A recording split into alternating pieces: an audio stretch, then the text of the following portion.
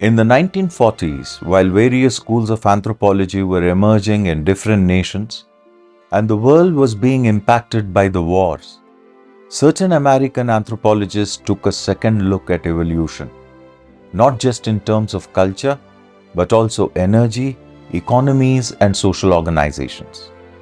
Remember, the earlier school of anthropology from the 19th century that looked at cultures evolving in a unilinear fashion was the classical evolutionary school.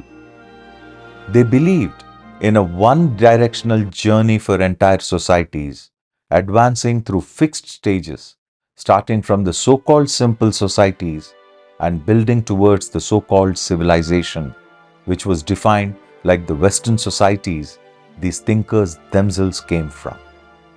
Obviously, this was a very narrow approach indeed, and so around 100 years later, in the 20th century, the neo evolutionary school of thought developed, which said that evolution was not just from simple to complex, but impacted many factors.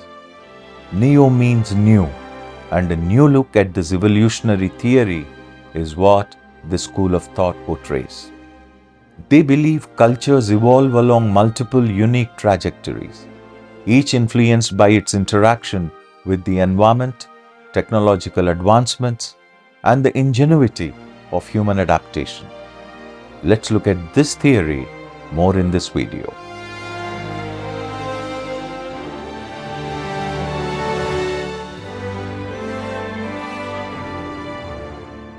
Hello and welcome.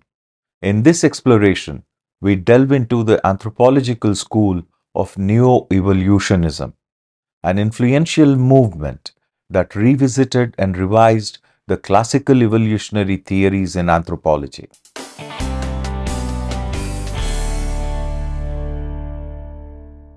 Neo-evolutionism emerged in the mid-20th century as a response to the earlier evolutionary theories in anthropology.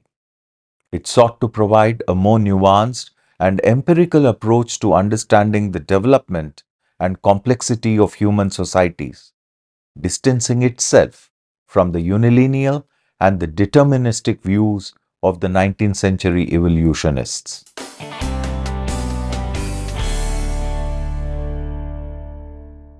The key concepts and theories of neo-evolutionism include the following. Number one, multilinear evolution. Neo-evolutionists propose that societies evolve along multiple paths rather than following a single trajectory. This perspective acknowledges the diversity of cultural evolutionary processes. Number two, cultural ecology and adaptation. A significant focus of neo-evolutionism is on the interaction between culture and environment. The school emphasizes how cultural practices and social structures adapt to environmental conditions. And this was a singular contribution of American anthropologist Julian Steward. Number three, technology and social change. Neo-evolutionists examine the role of technological advancements in shaping societal development, viewing technological innovations as key drivers of culture change.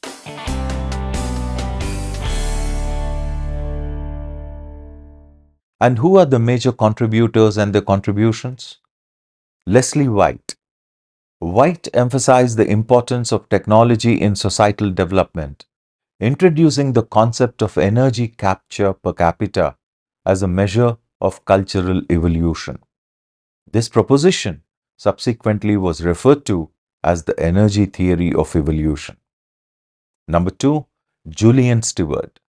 Steward's concept of cultural ecology highlighted the adaptation of societies to their environment leading to the development of different cultural forms in response to ecological constraints. Number three, Marshall Sahlins and Elman Service. They further developed the ideas of cultural ecology and social complexity, focusing on the structure and function of societies in their ecological context. They also proposed the concepts of general and specific evolutions.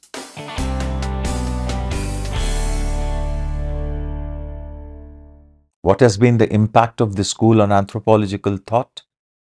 Well, neo-evolutionism revitalized the study of cultural evolution in anthropology, offering a more flexible and empirical approach.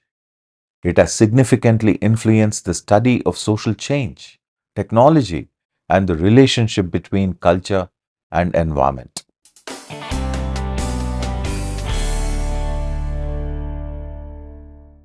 Despite its contributions, neo-evolutionism has faced criticism for occasionally overlooking the impact of historical contingencies and human agency in cultural evolution. Critiques have also pointed out the potential for oversimplifying the complex and social phenomena.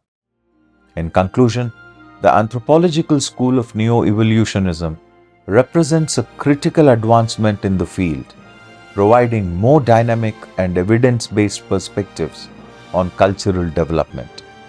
It continues to influence contemporary anthropological research, offering valuable frameworks for understanding the diversity of human societies and their evolution.